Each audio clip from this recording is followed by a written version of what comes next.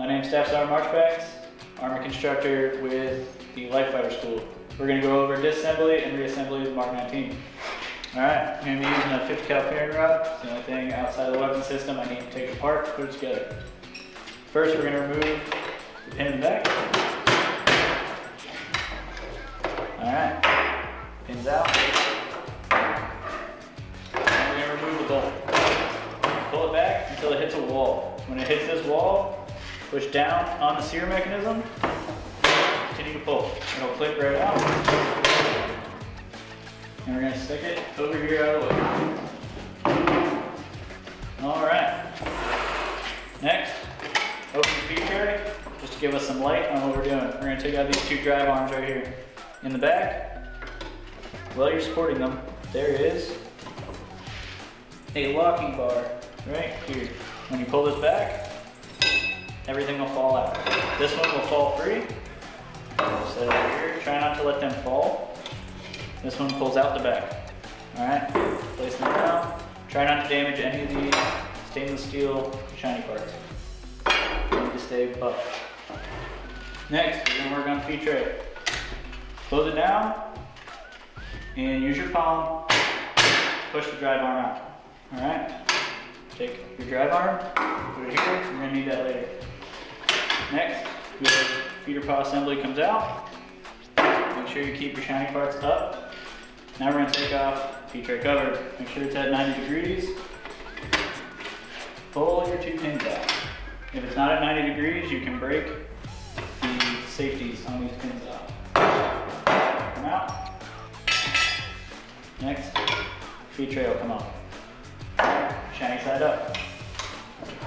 Next, we have our round block, O-die, and this guy that holds in place. All right, we're gonna use this. Come in here, and there's a small flat spring. Be pushed on, place. To release the locking bar. All right, locking bar will come out. You're releasing this. That's all you're doing. And you put that back. Next, round block, and push it in. You'll see it comes out here. Line it with the holes, and it'll come right out. Go drive, it'll just fall right out when you push on it. All right, now we're gonna do charging handles. Charging handles, there's a pin right here. When you pull it out with your fingers, just slide the entire assembly to the back and it'll fall off.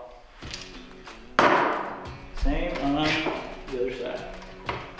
Pull your pin, push back, and it'll come right out. Next is the sear. Sear, be careful because it can fall apart and it's not easy to put back together. First thing, ensure the weapon is on fire. Hold up on your sear lever and the release pin in the front. Turn it until you hear the click. Once you hear the click, place it on safe. It has to be on safe before you pull it free from the weapon. All right? If not, all these parts inside can fall out. At that point, the weapon system is disassembled and we are going to reassemble the weapon system. We're gonna do it in reverse. First, the sear. Place it 90 degrees to the weapon system. It falls into place. Begin to turn it so you know it's in the right spot before you put it on fire. Hold up on your sear so it locks in place. All right, we're gonna leave it on fire to help us reassemble the entire weapon system. Flip the receiver back over, we're gonna put our charging handles back on.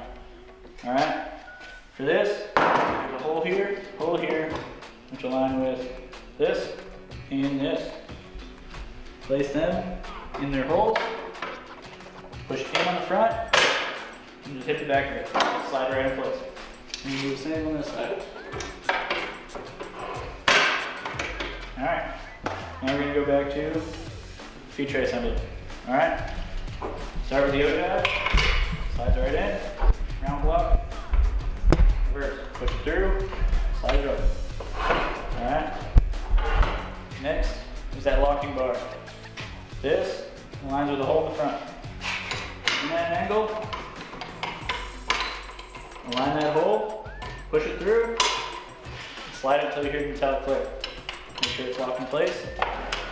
Take your feed tray, shiny side down. Place it on there. Now our feed tray covered. Remember, 90 degrees or you can damage these pins.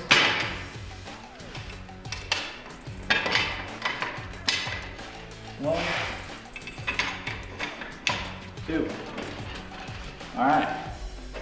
Feeder pawl assembly. Right back on. And it aligns. The drag arm goes in. There's only one place where it'll actually fit and twist without falling out. All right.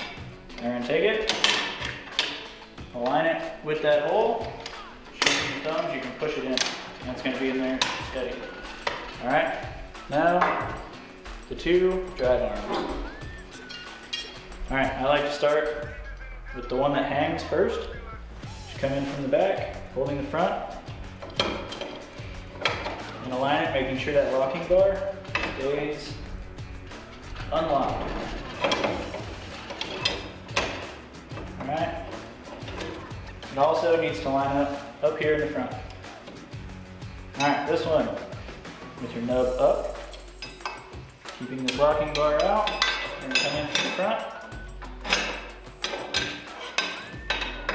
Line it with that hole, push it up through, push locking bar through. Push down on it, make sure it's not falling. All right, now we're gonna put the bolt back in. All right, first step. Align your bolt with the receiver, start to slide. You're gonna hit a wall. All right, now you're gonna be able to push farther. Come down to the bottom, push in on your sear.